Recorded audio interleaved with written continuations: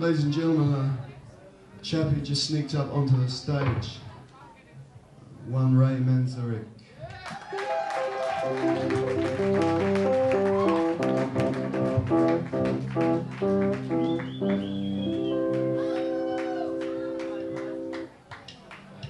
We're going to do a couple of songs together.